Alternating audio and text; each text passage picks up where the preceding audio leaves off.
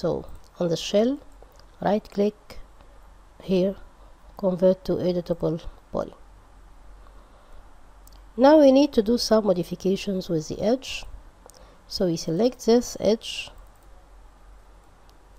And because we have a, a new shape the loop has changed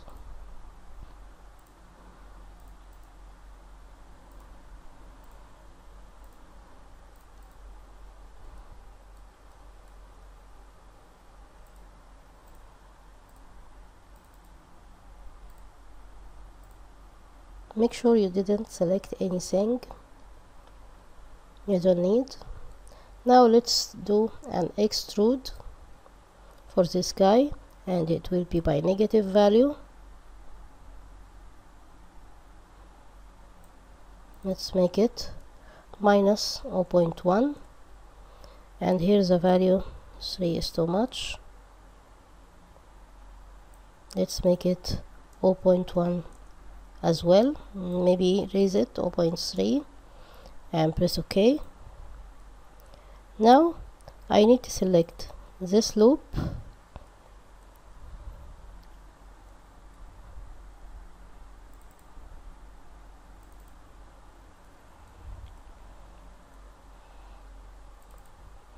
I know it takes time but this final adjustment will save everything for you later and same for that outer loop press control deselect it. And apparently that selects the whole loop. Okay fine. Let's chamfer these two loops. And the value will be not much. It will be 0.3 and for the other value I'll leave it to 1 and press OK. Now we need to make some places here or some uh, vertices thinner so I can have thin edge here same for this area. So I change back to four views to see everything. I need to work on left view and perspective view. So you're free to drag these up like I'm doing right now. Let's change to vertex mode. And what I need to modify here I need to get rid of half of this and then create another symmetry first. So I change my view or I can just work on front view and change polygon and select all this group and delete it. So I can be working only on this. Now let's change to vertex mode. I need to make these vertex a bit lower. So here in top view I select these two groups maybe the three groups. Uh, let's take those as well with them. And then I use the scale to scale them on the z-axis then I will deselect by alt this group and do another scale on the z axis. Okay I'll do the same for the back. So I need to select this group of points. And on the x-axis I will scale them. Then I deselect this group do the same here as I did. But now I figured that I need to push them back. Not much of course but we need to adjust. Uh,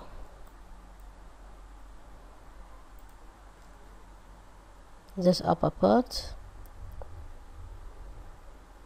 just like this so now the chair looks normal. Maybe this group here. Uh, maybe that, that's point.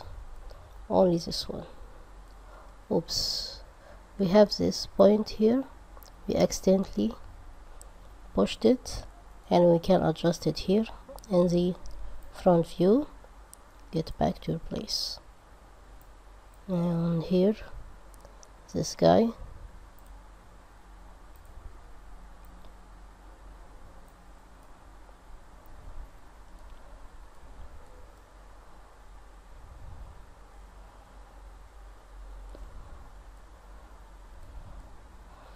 And I need to make this higher than the other ones. So I select this group and sorry let's for continue uh, let's zoom in. Select this group along with this group. And I don't need this here. Then let's push them up. Alt to deselect this guy. Push up again. Not much only slightly. Okay that's it okay okay that's fine. Maybe the last group of points here.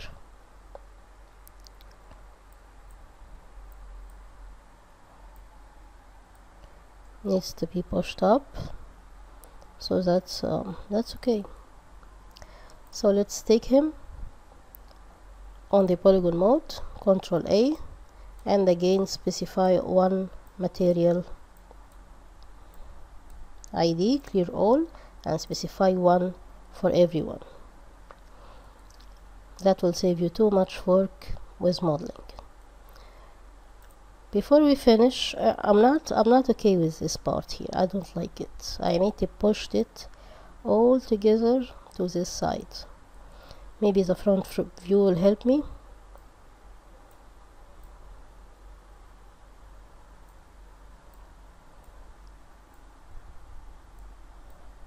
these two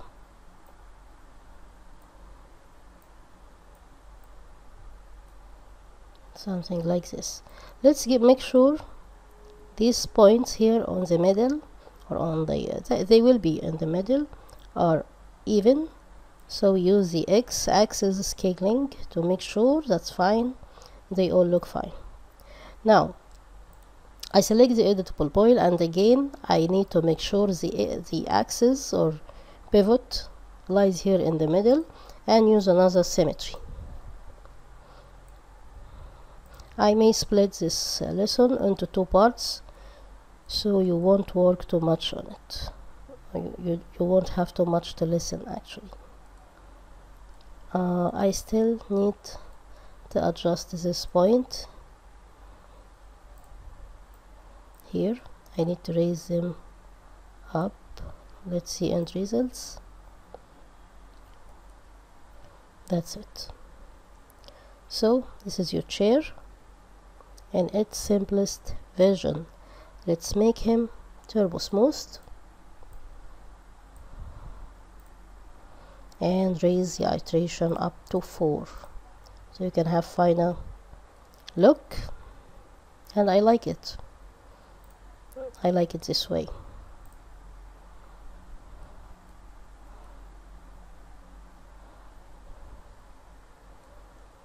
if you would like in the uh, editable poly you can select let's deselect it show end results and go to editable poly polygon mode.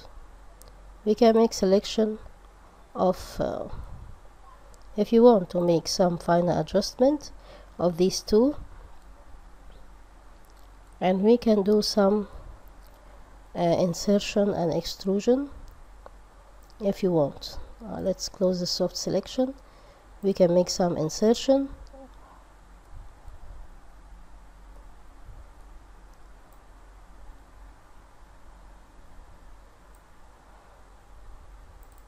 Let's make it something small like 0.1 press ok. Now let's extrude to the negative side let's make it minus 0.3 and see what we got. Press ok.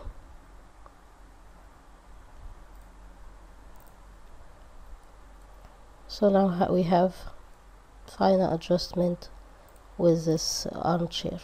Not much. And if you don't like it just don't make it. Now we need to create the cushion. I will create it in the front view and here I will create a box.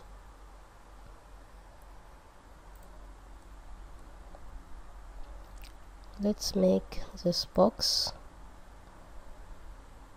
something like this. And here in the perspective view I can see how he looks like. Of course I need the lens. Let's make the lens to something like 9 width let's make it. Let's leave it to 29 and height uh, I can make this height something like 35 that's that's too much for 35 let's make it 20 and here in the top view I need to push him backwards and start adjusting. By right click convert to editable poly let's go to vertex mode and starting with these points here. I start scaling them as I can. And this in the middle I scale it up. Then I take these two raise them up like this. Take these two not much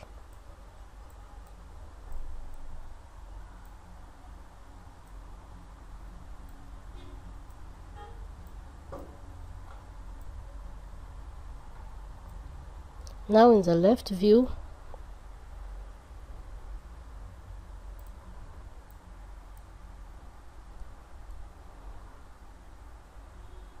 I need to select all these segments but not the ones in the middle. I just need these two sides. So let's try it here in the top view. Exactly that's what I needed. So I select everything exact uh, except these true lines. Now I will drag them down on the X on the Y axis and push them. Maybe raise them. Okay. Now this is the cushion. What we need to do we need to adjust its position in the front view and then use a turbo smooth. Raise it up to 2 2 is fine for me and adjust its position. Uh, actually we need to do the same here in the top view with these points. We need to take these groups. Oops stop. These groups of points and scale them so it looks like a cushion. And that one in the middle scale it up not much. Something like this. And let's see final results. That's what we need. But actually we need to make it larger. So we can scale it all up.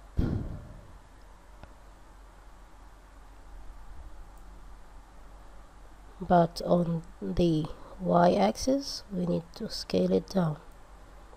Mm, not much.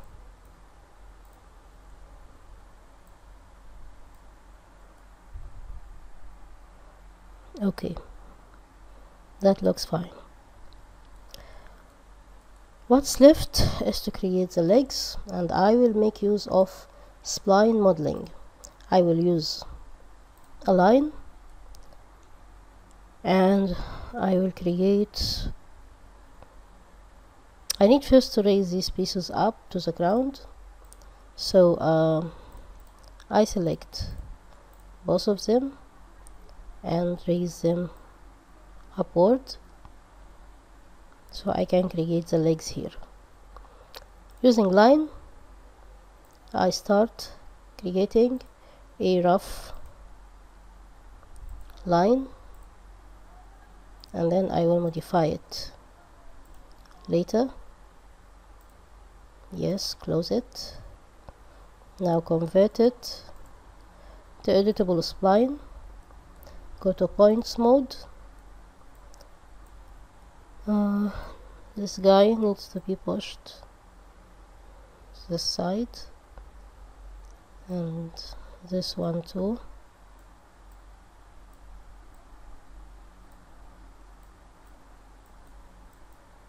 all of them needs to be raised.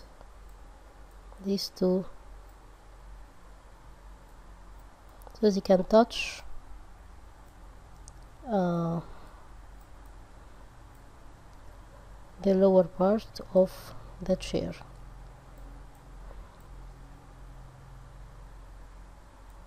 Okay. Now for these points here what I need to do? I need to use one of the tools. I don't need soft selection.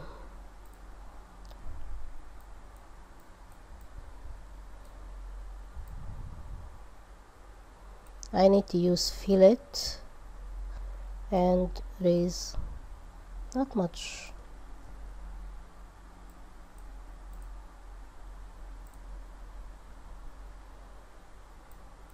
let's do it again. Okay so it looks curvy but not much curvy. And this guy here we need to raise him up.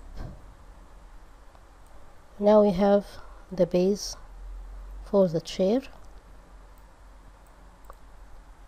For the chair uh, leg. I need to extrude it using the extrude modifier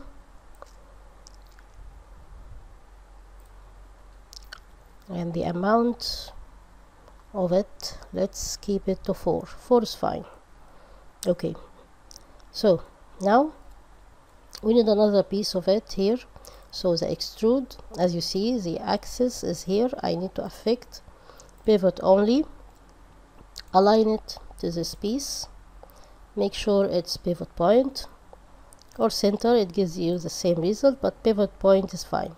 And press ok now I deselect affect pivot only and I will use symmetry to make this looking legs chair.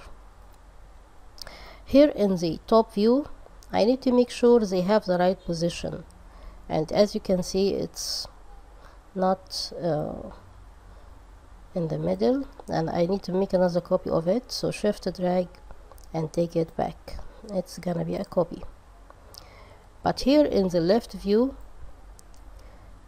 I will need to select this guy any of them actually and rotate him to this direction and do the same with this guy. Oops. Rotate him to the opposite direction